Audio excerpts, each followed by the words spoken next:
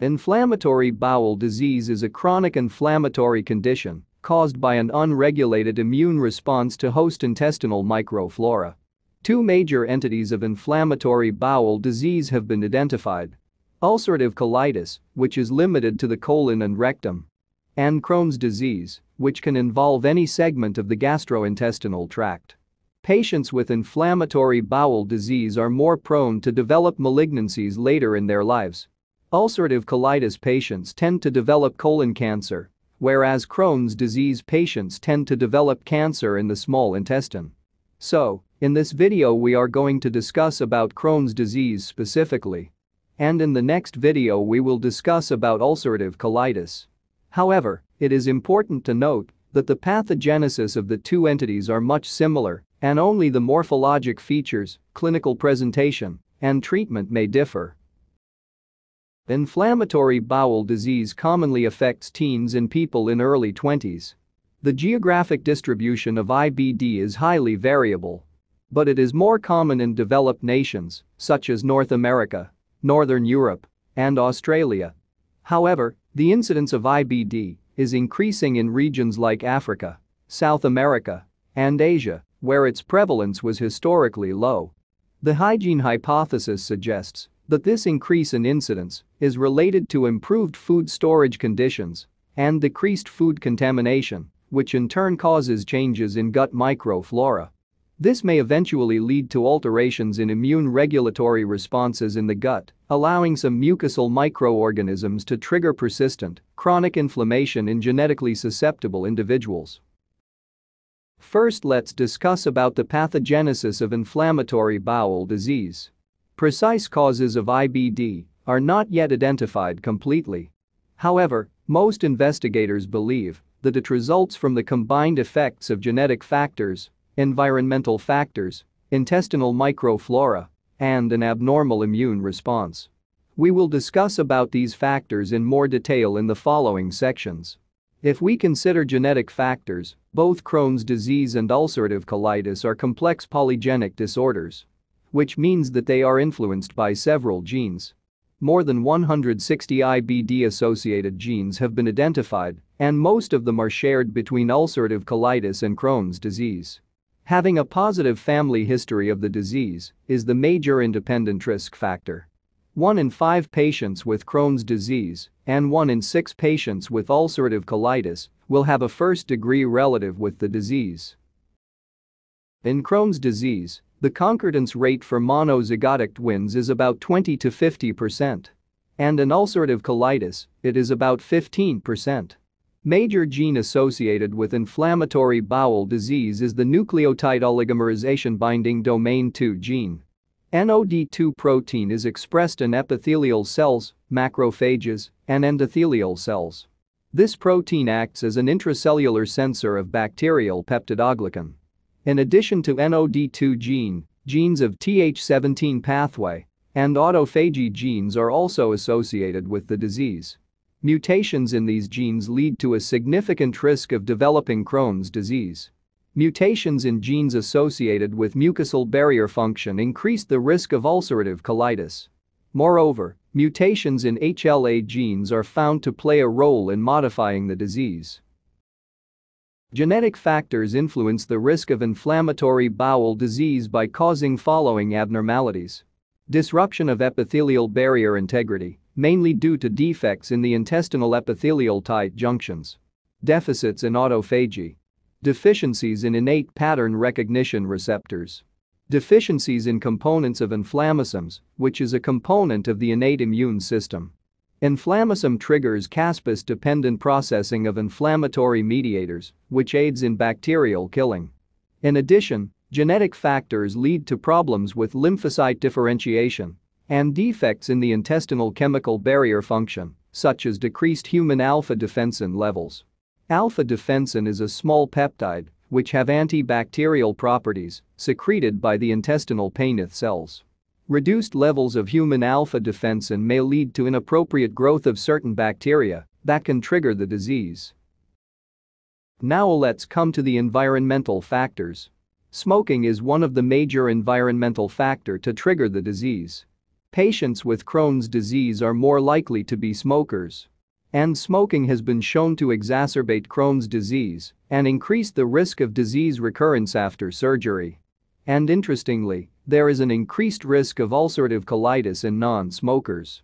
In addition to smoking, non-steroidal anti-inflammatory drugs, hygiene, which we have already mentioned, nutritional factors such as high sugar and high fat diet, and psychological factors like chronic stress and depression are likely to increase the risk of inflammatory bowel disease. Appendicectomy reduces the risk of ulcerative colitis, but it increases the risk of Crohn's disease. If we take intestinal microflora, patients with IBD have an altered gut bacterial flora, known as intestinal dysbiosis. This is characterized by reduced diversity of microbial species, higher concentrations of E. coli and bacteroids, and lower concentrations of bifidobacteria and faecalibacterium. Abnormal immune response also plays a major role in inflammatory bowel disease.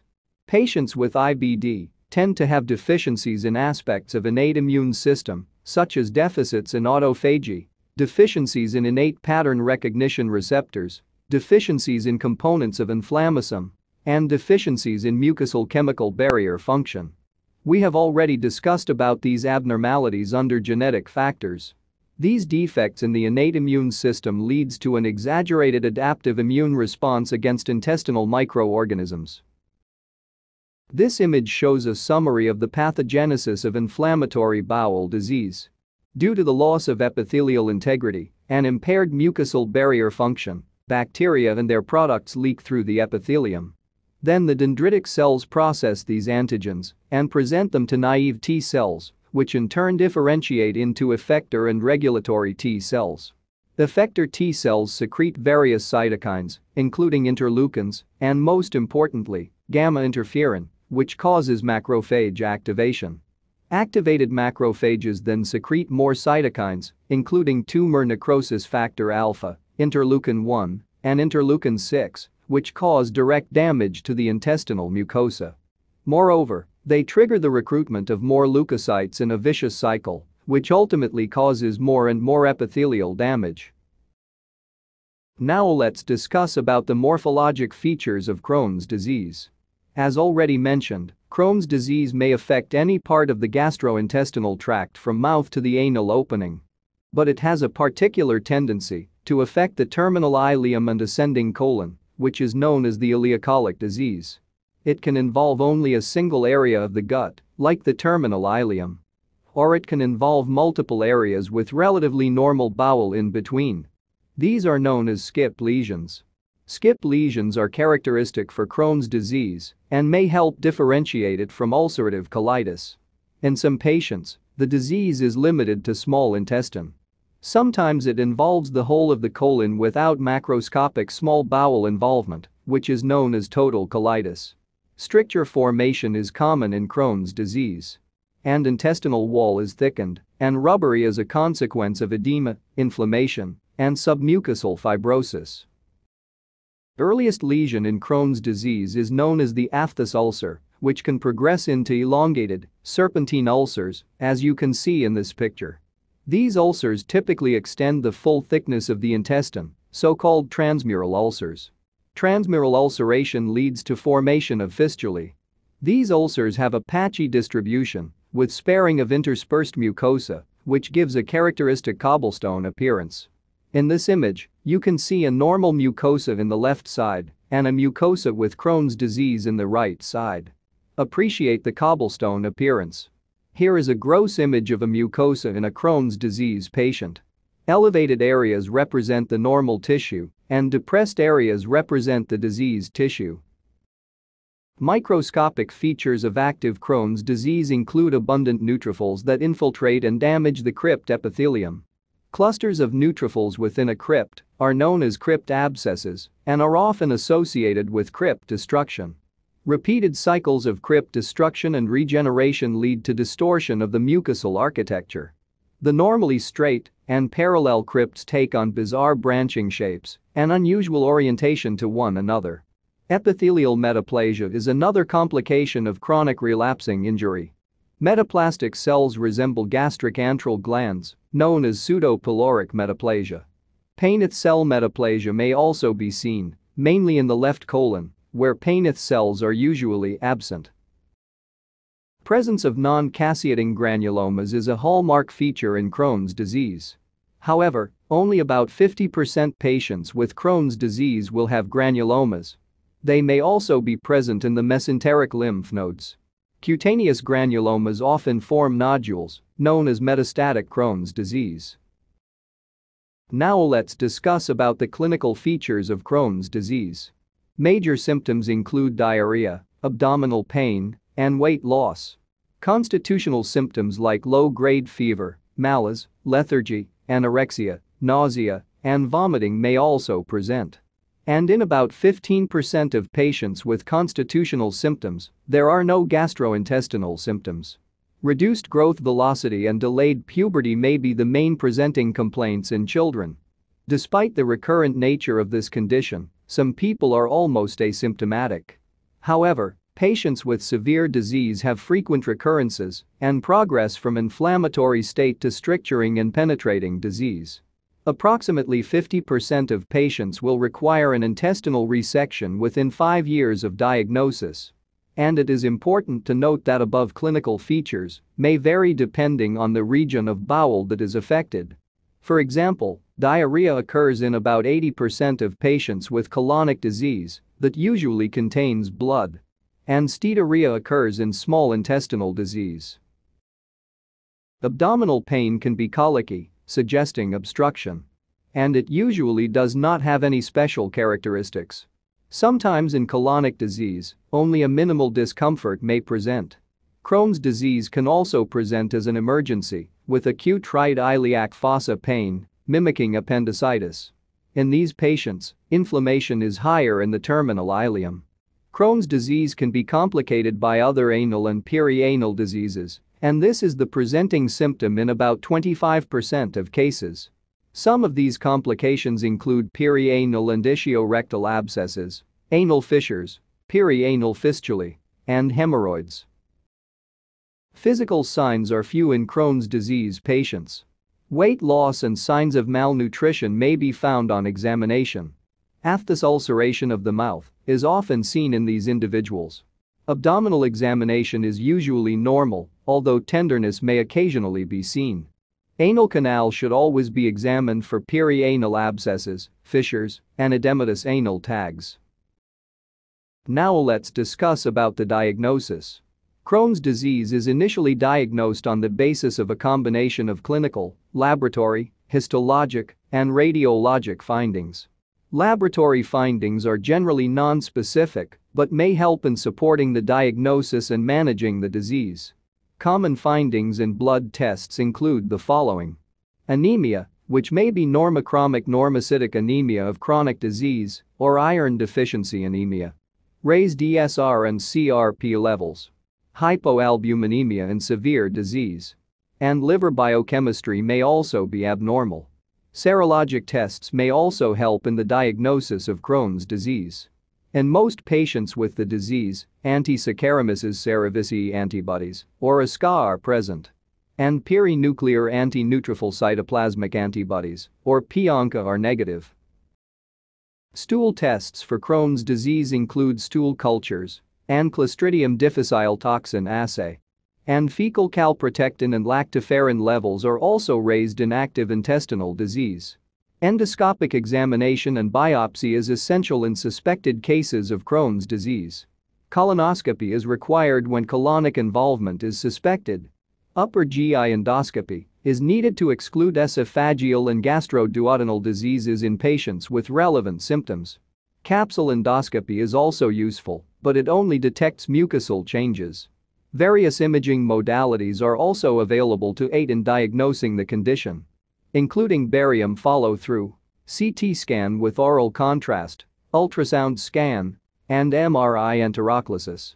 This image shows a barium follow-through radiograph in Crohn's disease. Small yellow arrows in the left side denote a stricture in the small intestine.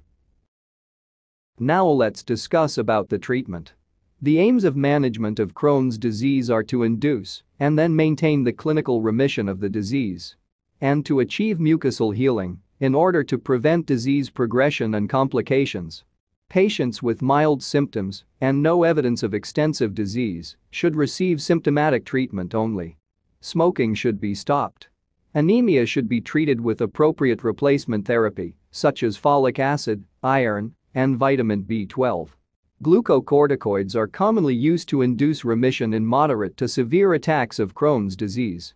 And it is important to note that alternative causes for the symptoms should be excluded before the commencement of immunosuppressive therapy. Antibiotics are used to treat secondary complications such as abscesses. Exclusive enteral nutrition is another treatment modality that is commonly used in pediatric practice. But it is not widely indicated for adult patients. Maintenance of remission is the next step in managing Crohn's disease.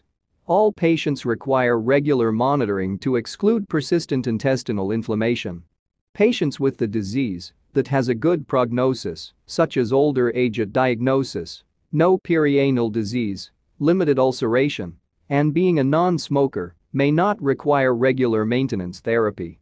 But patients with the disease that has a poor prognosis, such as younger age at diagnosis, extensive small intestinal disease, or deep colonic ulceration, complicated with perianal disease, and being a smoker, will require regular maintenance therapy. Commonly used drugs in maintenance therapy include the following.